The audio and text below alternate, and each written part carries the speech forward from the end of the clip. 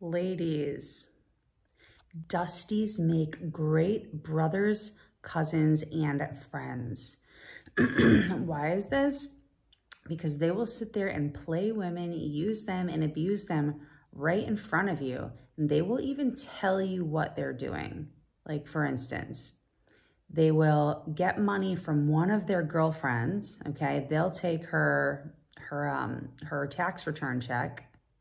They will use that money to buy an engagement ring for another girl and the only reason he's buying her that ring is because he's about to get evicted from his apartment and he needs a place to stay.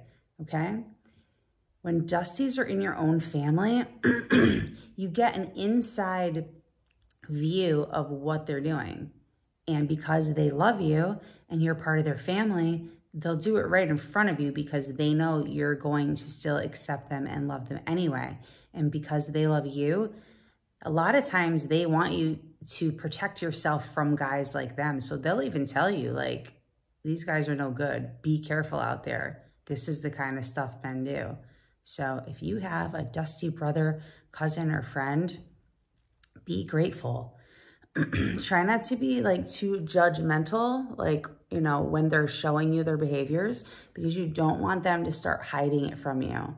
Okay. You want to be able to see what they're doing so you know what's going on out there and what some men do and what they're capable of. Okay.